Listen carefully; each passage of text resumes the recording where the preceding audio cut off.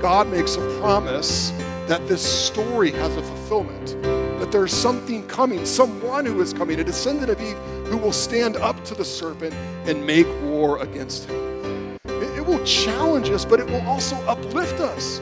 Scripture is God speaking, it is God's path for his people.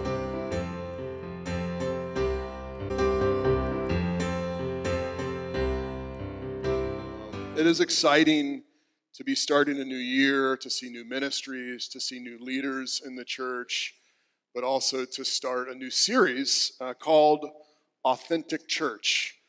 Authentic Church. And when we think about the word authentic, we might think about authenticity as the opposite of fakeness, right? We don't like fake people, we like authentic people. Um, and when I use the word authentic, when we talk about being an authentic church, um, we don't necessarily mean it as something opposite of fake, but we might mean it as authenticity is different than something that's artificial. Let me explain. In January of 1994, in the San Fernando Valley, just outside of, of LA, uh, at 4:30 in the morning, there was a massive earthquake in the San Fernando Valley. And 20 minutes north of LA, this earthquake happened, and it was really devastating. Uh, a lot of people were injured, some people lost their lives, but there was a lot of buildings that were just destroyed. And during that earthquake in 1994, the power just went out. Well, being that it was 4:30 in the morning, a lot of people were still home or sleeping in bed, and they felt the earthquake, and they ran outside to see what was going on. And they ran outside, and after the earthquake was over, people began calling 911, but not about the earthquake. They began calling 911 about what they saw in the sky. They were terrified. They began calling 911 thinking that what they saw in the sky meant it was the end of the world. Some people even called 911 because they thought aliens were attacking. You know what they saw? The stars the moon, the, the Milky Way galaxy. They just saw the sky as it always had been. See, the problem with living in a big city is you get something called light pollution, an artificial light. You know, we need those all those street lights and stoplights and building lights, but what they do is they drown out what's really there in the night sky. And so once the power went out, everyone went outside and they had never seen the sky They'd never seen the authentic sky as it really was, and it terrified them. We live in this moment as the church where, you know, as the church, our outward presentation of things is important. Um, our online connection is important. We, we have these things that have been around for the last 10 years that they have these screens and they, once we unlock them, we get in and we can connect via social media and, and connect to the world. And, and during this time of COVID, during this moment, there's been a massive shift to some of these artificial things. There's been this massive shift to church online. There's been this massive shift to connecting with each other, not in person, but through Zoom there's been this massive shift for churches to produce content to put out there for people so that they stay engaged. And it's not that those things are wrong, we have to do them, but they're not authentic, they're, they're, they're artificial, they're secondary to what the church is really supposed to be. See, like those people north of LA, sometimes the, the, the, lights of the city or the things that we do as a church can really hide what the authenticity of the church is about. And sometimes we can lose sight of something that we didn't even know was there. This series is really about turning down those artificial lights and focusing on what's authentic so that as the lights come back on, we know what church is really about. You know, you know those people that saw the night sky as it really was. The, the lights eventually came on in their city, but they had that knowledge. There's something so much more beautiful and authentic up there. Even if we can't see it right now, we know what lights are really about. And so, in this series, an authentic church, we're going to be talking about the church as community. What does it mean for us to be a community, an authentic community? We're going to be talking about how the church worships. What is worship really about? What does it mean to come together and sing praises to King Jesus? We're going to be talking about the Lord's Supper. What is that? What, what is authentically meant to happen in the Lord's Supper? And today we're going to be talking about Scripture. One of our values is being rooted in God's Word. But what does it mean for us to, to, to turn off all the artificial lights and see this book for what it's meant to be in our church? To, to see the beauty of it, uh, to see how it's meant to shape us and, and influence us. Today we're going to be talking about Scripture as one of God's paths for his people in the authentic church. In just a moment, we're gonna we're gonna watch a video, and Cody's gonna come up after that and read scripture. So let's go ahead and start the video. For those of us who follow Jesus, we have a book. It isn't a theology book. It isn't a rule book. This book is a story. The story of God and humanity. A story Jesus said he was fulfilling. This book contains poems, riddles, letters, puzzling narratives, and new ideas. Yet, throughout it all, this book is full of the breath of God. For those of us who follow Jesus, this book is a treasure. This book is a tree of life. This book is a page turner. Turn the page with us.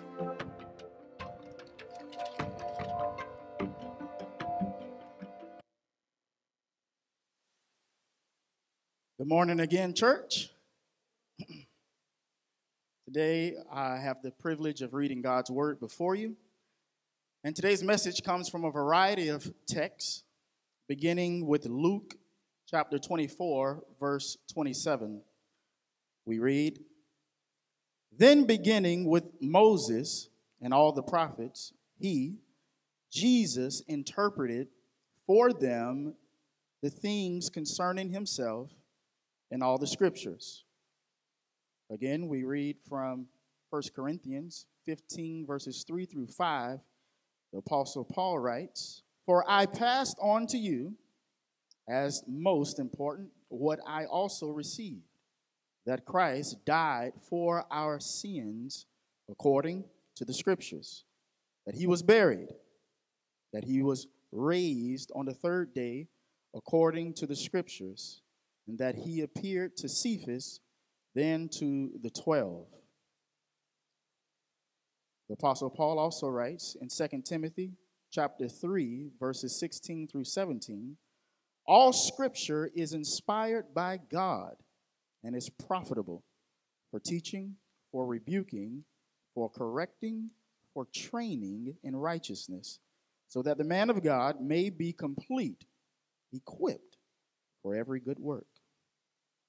Also, Peter, in 2 Peter chapter 1, verse 21, he writes, No prophecy ever came by the will of man. Instead, men spoke from God as they were carried along by the Holy Spirit. Also, Matthew chapter 4, verses 1 through 4, he writes, Then Jesus was led up by the Spirit into the wilderness to be tempted by the devil. After he had fasted 40 days and 40 nights, he was hungry. Then the tempter approached him and said, If you are the Son of God, tell these stones to become bread. He answered, It is written, Man must not live on bread alone, but on every word that comes from the mouth of God. Paul also writes in 1 Timothy chapter 4 verse 13, until I come, devote yourself to the public reading of scripture, to exhortation, to teaching. Lastly, the author of Hebrews writes in Hebrews chapter 4 verse 12, for the word of God is living and effective and sharper than any double edged sword, penetrating as far as the separation of soul and spirit, joints and marrow. It is able to judge the thoughts and intentions of the heart. This is the word of God.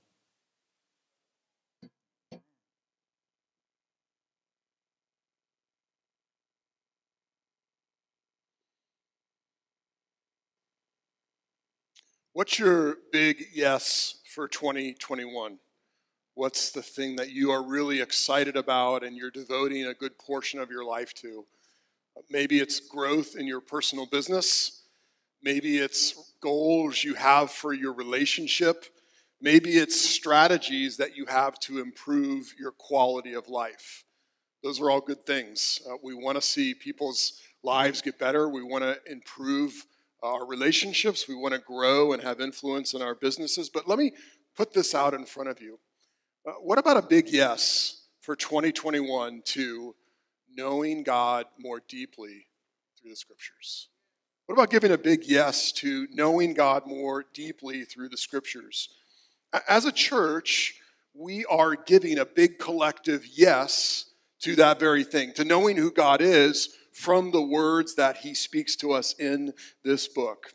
And this morning, if you've made that commitment, I want to encourage you as you start off this journey this year. And if you're thinking about joining in, I want to nudge you to come on with us through this journey in the scripture. Because scripture is, first of all, God's story. Scripture is God's story. How does it start off? Genesis 1 1. In the beginning. That's the language of story. In the beginning, God created the heavens and the earth. God is the character in this true story of the world. Scripture is God's story, and it tells us who we are.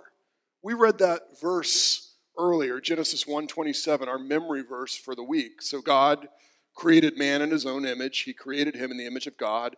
He created them male and female.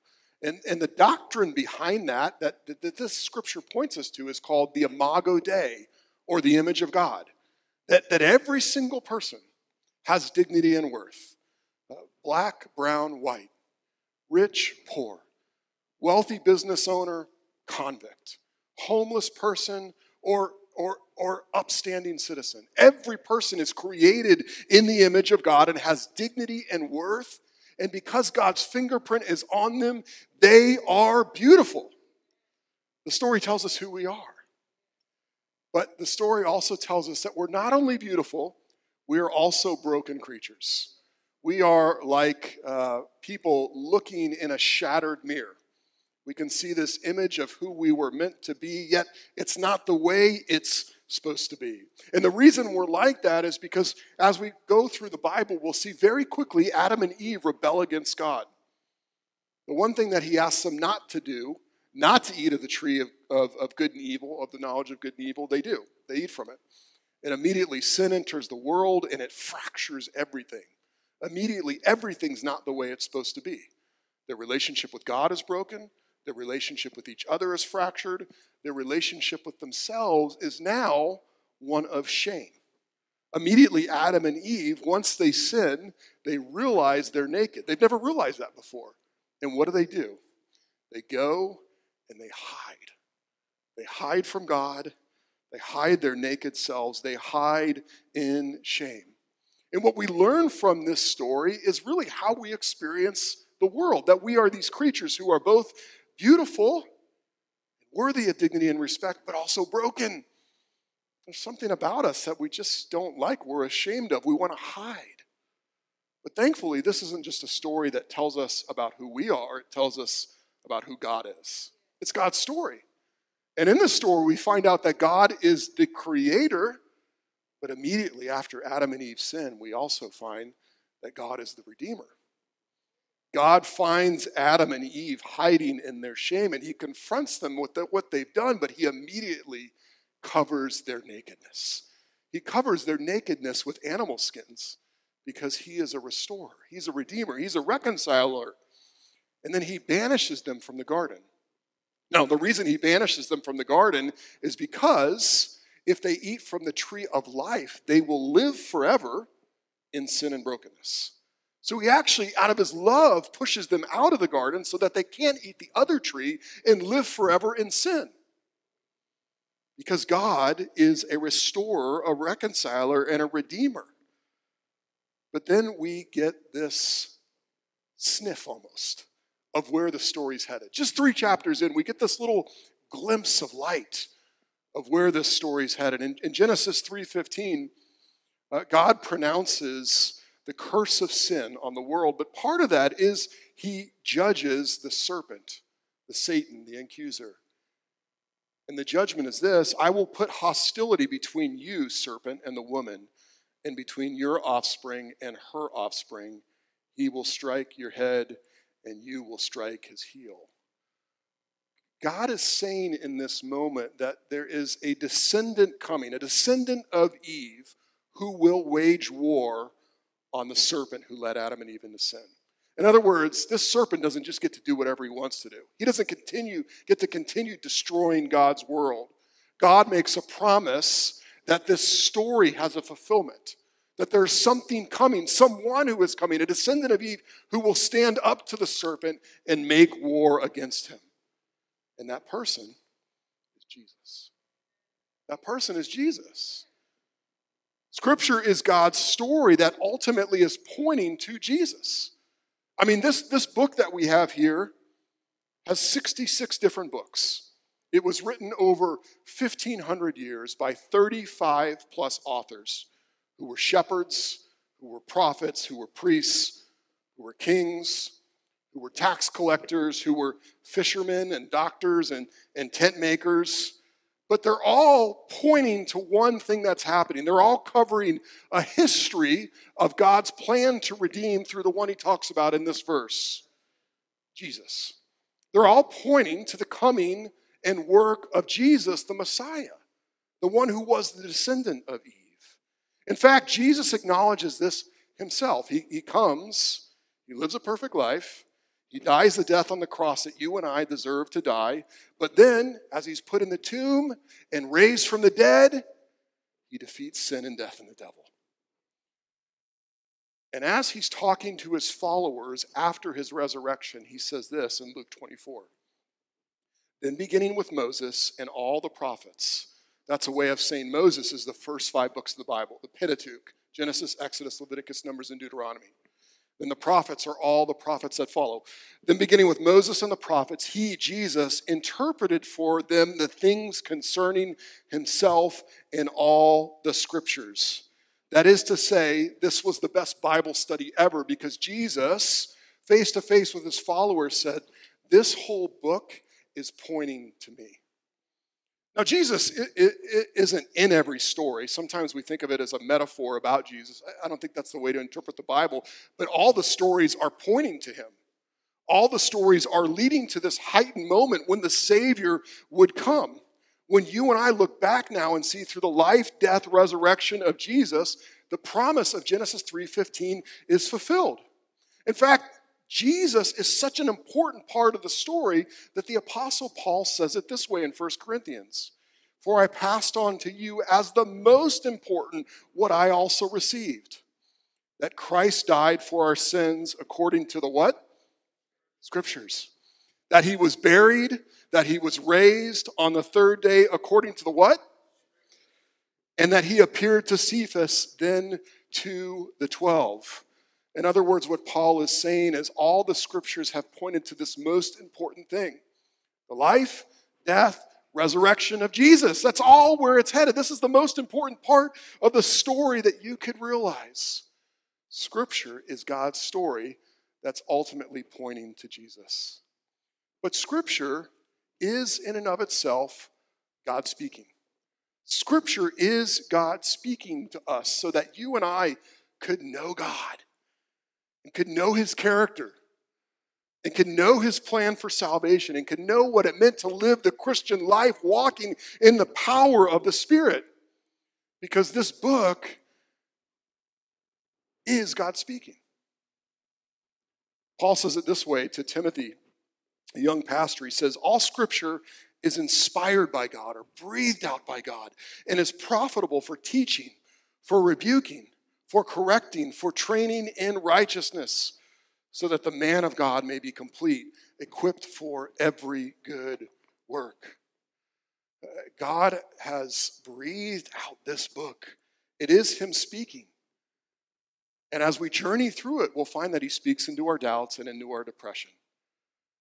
He'll breathe faith into us and show us what forgiveness is about. He'll speak into our fears and He'll speak into our greed. This book will tell us what love really is and show us what it means to live the Christian life. But oftentimes, it is difficult to hear God speak, isn't it? It's difficult to think that God is really speaking to us, to me, through this book. And, and one of the reasons why is the artificial lights. Um, the things that are not necessarily bad, but they keep us from seeing what's really there. Uh, sometimes our phones can be an incredible distraction. Have you ever tried to read your Bible on your phone? And for me, you get ESPN update after ESPN update, and they're like, oh, I'll, I'll scroll over real quick and just check that. Then I'll come back to praying over the scripture. Right? The, the, the phones can be an incredible distraction so that we never really get into depth, that we never really hear God speak through His Word because we're so consumed by things that are, that are artificial. But not only that, the way that we read here is really different than the way that we read here. Uh, Jay Kim talks about how our phones are almost like slot machines because you, you pull it down like that and you refresh and you see what happens. And then you get this little dopamine hit because something new has, has come up. And I, I found I can't even read the Bible on my phone anymore because I just get so distracted. Um, but it, it really has trained our minds to interact with Scripture differently than when we're trained just to he, read here, you know, sentence after sentence. And reading scripture on here isn't bad. Don't hear me say it's bad. Please read your Bible, whether it's here or here. But something happens when we only read it there. Our minds get changed, right? Our minds get changed. And, and for some reason, it's harder to read sections, right? It's easier just to read one verse at a time. In fact, you know, one of the things that's popular among churches that we do, so I'm not condemning this, on our social media page, we'll put out these beautiful pictures of Scripture, right? And one word is like really beautifully highlighted. Uh, and, and that's great if you know the context and what's behind the verse. But if you're just getting that verse, you probably don't really know the context or what it's about, but you just see this pretty Bible verse and you're like, oh, it's, it's beautiful, you know? And, and, then it doesn't really sink any deeper. It, it's comparable to this. Um, it'd be comparable to just watching part of the Star Wars movie saga for three minutes. You know Star Wars movies? There's three trilogies, there's three sets of three, so there's nine films, and now they're coming out with more and then more shows in addition. So you have like maybe 14 or 15 films. And imagine just popping in and sort of watching a three minute section of that beautiful, beautiful saga, by the way. It's an amazing film, amazing films. Um, but imagine popping in and just trying to watch three minutes of that and then coming away with something. Like you wouldn't know, you wouldn't know where you were or what it was about or like how it even applied to you. You know, there's this one scene in the movie Solo, which talks about Han Solo and his origins, and he's getting chased through Corellia uh, with this land speeder. The Star Wars fans are like, keep going, keep going. Everyone else is like, oh, this is boring. But listen, so he's getting chased with this speeder through Corellia. And if you were just to watch that one scene, you'd be like, wow, this is really cool. I have no idea what the context is. I have no idea what the broader picture is. And you might even say, I'm not even sure how this applies to me. Maybe this means I should drive my car like this on 95. And some of you do do that. We'll have to talk on that. But the, but the point is, you, you can't interact with a movie that's that beautiful and big and grand that way, and you can't interact with Scripture in a way where you just get a little a piece without knowing what else it's connected to. One of the challenges with reading the Bible just in piecemeal is we only look for things that inspire us, and we only assume God is talking when we feel inspired. But all this is from God. Whether it inspires us, whether it convicts us, whether it encourages us, whatever, whatever however it, it does to us, it's all from God. Even those chapters in Leviticus that we're not really sure what to do with, and there's all those rules and things and crazy laws and things like that, that that's from God as well. And there's a way that we can interact with that and, and even see Jesus through it. In the early church, there was this guy named Marcion. Uh, Marcion lived from 85 AD to 160 AD after Jesus had resurrected and ascended into heaven. And as he interacted with the scriptures, he decided that a lot of it just didn't make sense to him. He couldn't reconcile the God of the Old Testament with the God of the New Testament. And he said, Well, there must be two gods. And he began to slice and dice scripture and come up with his own Bible and actually write things that he wanted to be in the Bible.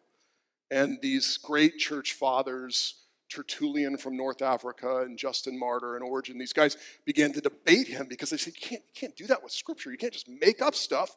You can't leave stuff out because then you're not really hearing God speak. You're just creating a God that makes sense to you.